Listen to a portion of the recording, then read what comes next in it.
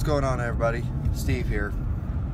So, there was a post this morning on Facebook about Trump's wall once again.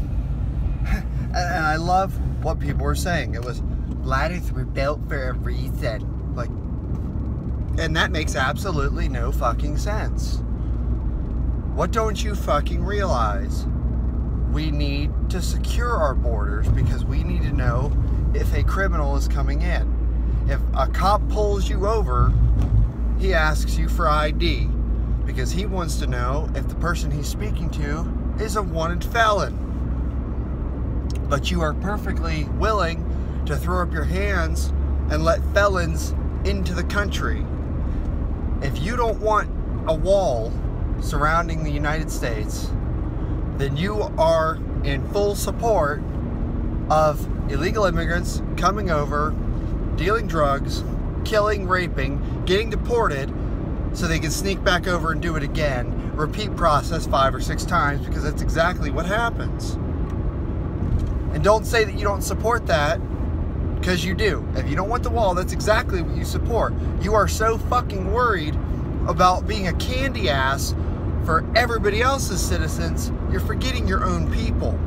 We are Americans. We deserve to feel safe in our own country. Now, we have our own problems, we really do.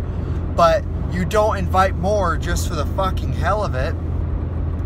What did the one lady say? That's not the right thing to, it's not the Christian thing to do. Like, the Bible is based on totalitarianism, and you're going to tell me that the Christian thing to do would not be to secure our borders when the Vatican has a giant wall around it. Explain that shit to me.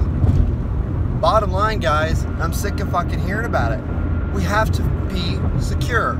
If an immigrant, everyone says, yeah, uh, America was built on immigration. Like, I thought you liberals were supposed to be progressive and moving forward, but you're looking 400 years in the past. We are not worried about what we were built on 300 and some years ago. we are looking for what does our country need now to move forward in the best safe and economical direction.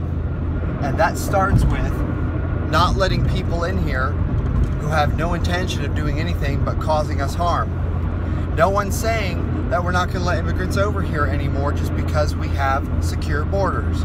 We are going to say that we will make sure that the people who get in are good, honest, hardworking people to the best of our ability. And we're not perfect, we're going to fail, there will be cracks.